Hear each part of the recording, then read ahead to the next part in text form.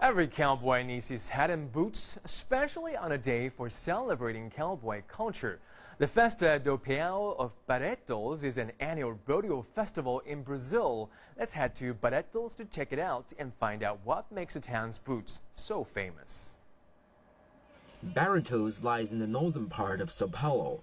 During the festival that began in mid-August, cowboys walking in their shiny boots are a common sight on the streets here. Time-honored workshops for handmade boots are all over the city. Borges and her husband are one of the most successful.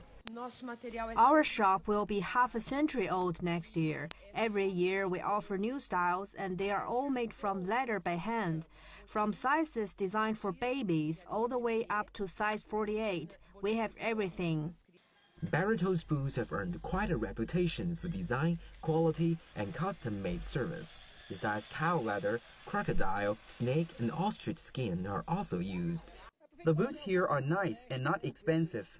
As the most renowned cowboy festival in Latin America, the Festa do Peão has stimulated big sales for boots. We have had a lot of customers during the festival. Our sales have increased four times.